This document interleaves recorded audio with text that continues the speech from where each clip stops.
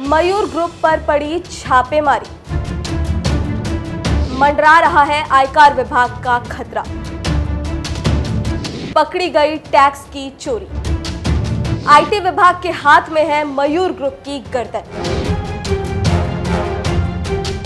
नमस्कार जी, मुझे कहते हैं नामिका पांडे और आप इस वक्त देख रहे हैं वीके न्यूज़ उत्तर प्रदेश। उत्तर प्रदेश के कानपुर की जानी मानी कंपनी मयूर ग्रुप, जिसका टर्नओवर 600 हज़ार करोड़ का है। मयूर ग्रुप पर चौथे दिन भी लगातार आईटी की रेड के बाद जाँच जारी है। अब तक की जाँच के दौरान 80 करोड़ से ज़्यादा की टैक्स की चोरी और करीब 50 करोड़ का संदिग्ध लेन देन पकड़ा गया है। इसके साथ ही 7 करोड़ का कैश और 26 किलो सोने के जेवरात मिले हैं। वहीं अरबों की काली कमाई को रियल स्टेट के खपाने में साक्ष्य सामने आए हैं।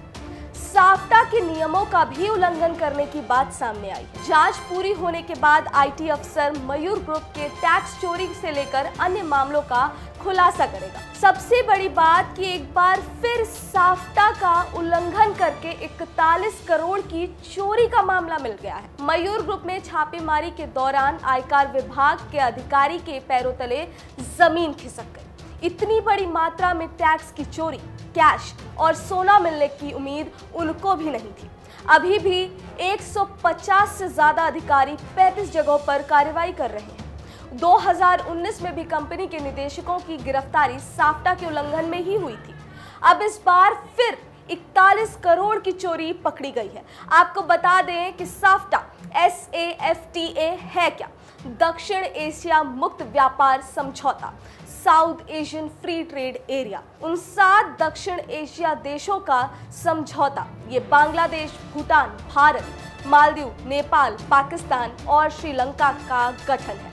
इसका मुख्यालय काठमांडू, नेपाल में है।